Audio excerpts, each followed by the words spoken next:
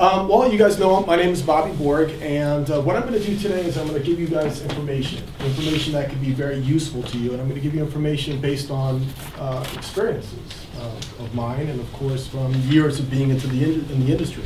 So I decided that I was going to very, very simply put together my thoughts in a book which I authored called The Musician's Handbook, and it's actually been published by Billboard, and since then has become a, a bestseller for Billboard since 2003. There's a misconception about the advance, right? Anyone ever heard that word advance, right? Advance. There's a, a nice sound to that because it basically implies that someone's going to give you money in advance of you doing anything. Okay, why not? Sure, bring it on, right? Let's, let's bring it over. Um, but you know, and there's also thoughts about well, when we get the advance, we'll quit our job. When we get the advance, we'll buy the Porsche, all that good stuff. Well, what we should know, looking at point number one, is that an advance is treated like an, what's called an all-inclusive recording fund. All right. In other words, the recording fund that you're given is actually supposed to pay for all of your recording, all of the expenses. And what's left over from that is what's called the artist advance. All right, so we'll look at the art, uh, artist record royalty in point number two. All right, now our royalty was based on what's called the suggested retailer's price. The suggested retailer's price was $18.99, SRLP. Our royalty was 16%.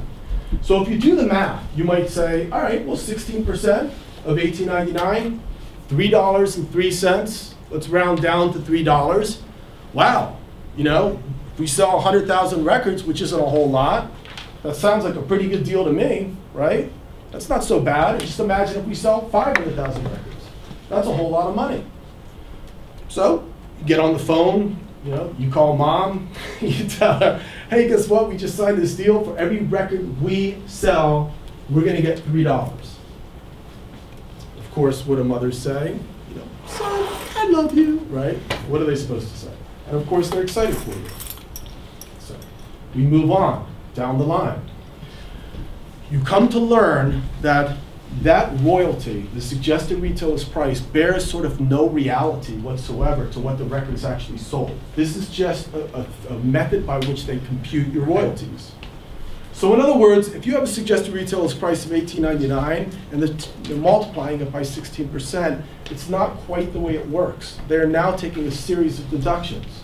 And we'll look at package cost deduction. So you have 1899.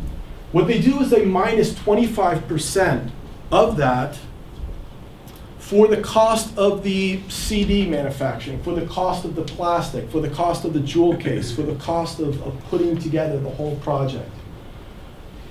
That's about $4.04 or so, when in reality it costs maybe about 75%, uh, 75 cents rather per unit. So now you're down to a royalty base of $14.24. And now that's multiplied by your 16%, which gives you 200, uh, $2.27 per unit. So that's a little bit of a jump from $3.03. So you get back on the phone, dial up, say, you know what, mom, wasn't $3.03, it was actually it's $2.27 son, uh, I love you. it's like they're happy for you. Right? You move down the line now because we still aren't over. We're just getting started. There's something called an all-in and net royalty rate now. Okay, so what you do now, we keep in mind we're down to our royalty base of $14.24. But notice that we're not multiplying by 16% anymore. Why? Because the royalty is called an all-inclusive royalty. So when you get a royalty of 16%, you're supposed to pay the producer from your 16%. Mm-hmm. So we don't have 16% anymore. We have to pay a producer. And the producer might want five, he might want six. Yeah, our producer wanted 4%. So now we're down to 12% from our 16% royalty. So 1424 times 12 is now down, uh, down to $1.70 per unit. Okay.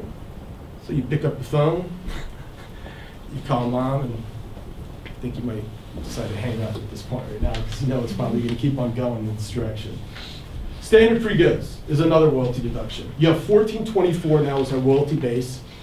minus 15% for something called standard free good. Essentially, what a standard free good is, is it says that for every 100 records that we ship, we're going to charge maybe for only 85 of those records. The 15 sort of records are called non-royalty bearing records, which basically means that we're going to use it for the purpose of, you know, hey, you know, Mr. Retailer, we'll send you a 100 records and only charge you for 85 as sort of a purchasing incentive. Whether or not that's actually the incentive you're given is another story. You might be given a 3% incentive, a 5%, it doesn't matter, they're taking 15%. They are not going to pay you for 100% of your records, just 85% of the records, okay? So 1424 minus 15% is equal to 1210, which is a new royalty base. Now multiply that by 12%, and you're down to $1.45. Now I'm going to stop for a second and ask you guys, how many of you are going, I left algebra class like two hours ago. What the hell is this guy talking about? This is supposed to be the music business. It's supposed to be fun. It's supposed to be, I thought this guy was going to come in here and talk about these wild touring experiences and that kind of thing. Well, guess what? This is what it is. It's what it is, all right? Of course, it's just one part of it, but it's a very, very important part